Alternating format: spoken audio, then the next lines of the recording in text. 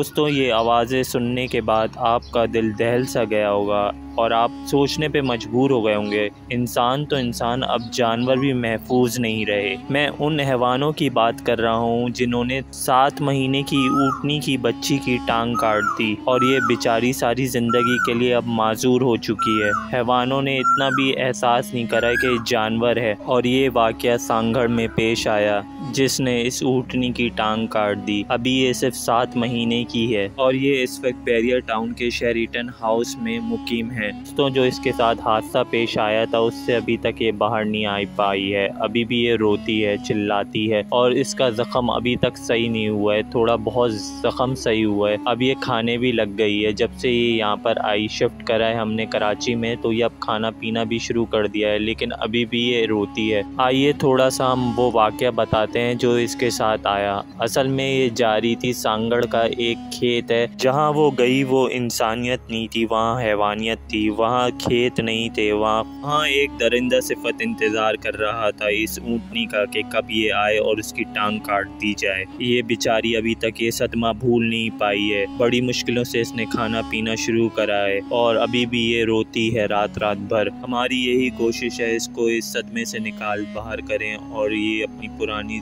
जो इसके साथ घटना पेश आई है, वो भूल जाए और खाना पीना वगैरह शुरू कर दे। अभी भी ये डरी हुई है। हम भी करीब आते हैं इसके तो ये डर जाती है। अभी तक ये वाक़ भूल नहीं सकी है। बड़ी मुश्किलों से खाना पीना शुरू करा है। अब इसको हम दूध और खाना पीना सब इसकी हिफाजत, ख्याल वगैरह हमें करना पड़ता है। जब भी हम इसके पास आते हैं, ये हमसे भी डर जाती है। कहीं इसको ये लगता है कि हम भी इसकी टांग काट देंगे या इसको ज़िबा वगैरह कर देंगे। अभी भी ये घबराई हुई है और रातों में रोती है। अभी ज़ख़म इसका बेहतर नहीं हुआ है, अभी भी दर्द है बहुत और आँखों से आँसू आते रहते हैं। दोस्तों, हम लोग इसलिए यहाँ पर आए ताकि आप लोग को दिखा सकें इसका दुख और दर्द कितनी तकलीफ़ों में है ये और हम चाहते हैं कि आप लोग भी आएँ और देखें इसको। मेरा भी यहाँ आने के बाद दिल खून के आँसू रो रहा है और देख के बहुत तकलीफ़ हो रही है मुझे भी कि किस तरह से इन दरिंदों ने छः महीने की बच्ची पर जुल्म कर डाला। अब गवर्नर सिंध भी यहाँ पे आ पहुँचे हैं और विज़िट पर आ गए हैं। गवर्नर सिंध भी और आप देख सकते हैं प्रोटोकॉल के साथ है और ये और गवर्नर सिंह ऊँटनी को देखने आ गए हैं और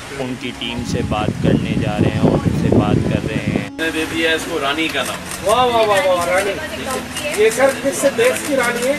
है? मलिर की रानी? मलिर की रानी। अरे वाह वाह सर या सिंध की रानी कहते हैं। दोस्तों सुना आपने गवर्नर सिंध आए और ऊँटनी को रानी का नाम दे दिया मलिर की रानी का नाम दे दिया और आप इसको अपने हाथों से खाना खिला रहे हैं गवर्नर से। और आप देख सकते हैं कितनी खुश है और ये खाना पीना भी शुरू कर दिया इसने वरना जब ये आई थी खाना पीना वगैरह सब छोड़ दिया था इसने। बस रोए जा रही थी रोए जा रही थी।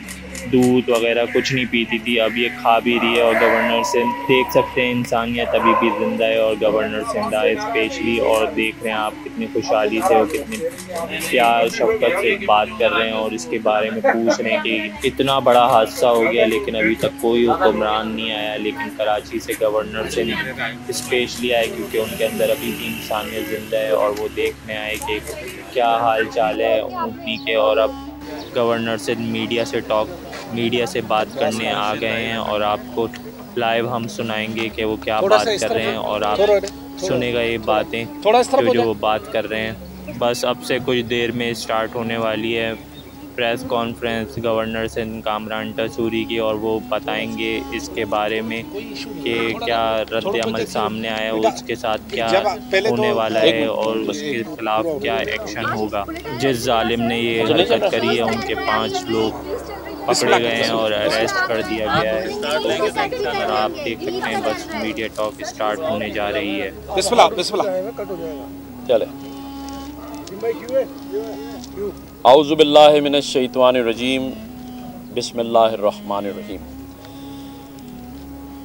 आज एक ऐसे वाक़े पे आपको भी मैंने मदू किया ख़ुद भी यहाँ मलिर पहुँचा हूँ।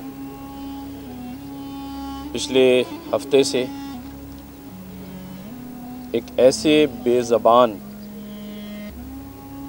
जानवर के साथ ज़्यादती की गई, जिनका ज़िक्र हदीसों में भी है और जिनसे मोहब्बत का इजहार हमारे मज़हब ने भी हमें कई बार बताया है।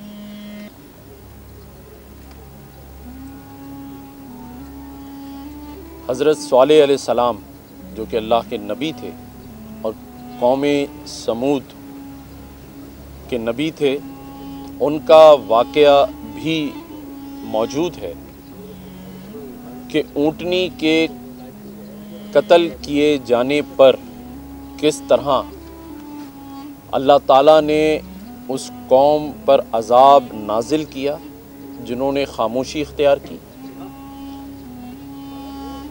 और उस जुल्म पर आवाज़ नहीं उठाई। अगर आज हम कुछ कर नहीं सकते तो आवाज़ तो कम से कम उठा सकते हैं। मैं मानता हूँ कि ऐसे वाक़ात पर किसी को भी सियासत नहीं करनी चाहिए।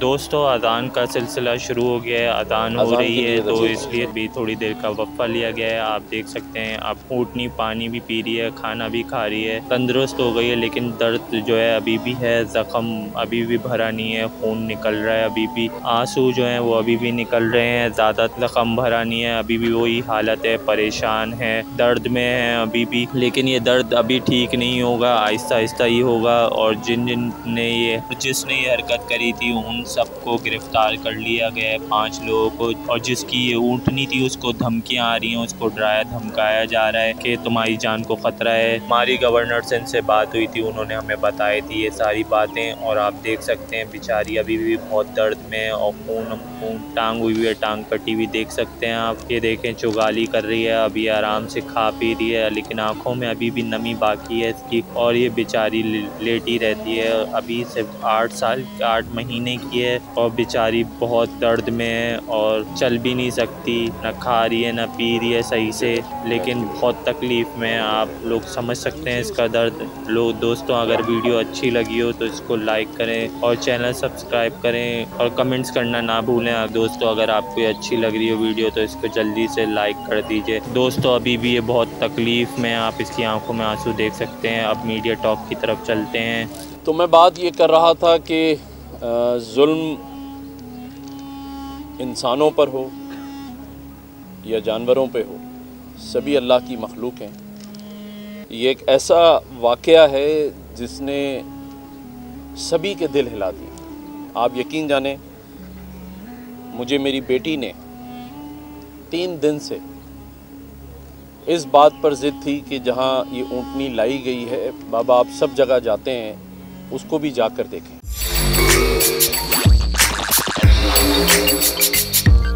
Thank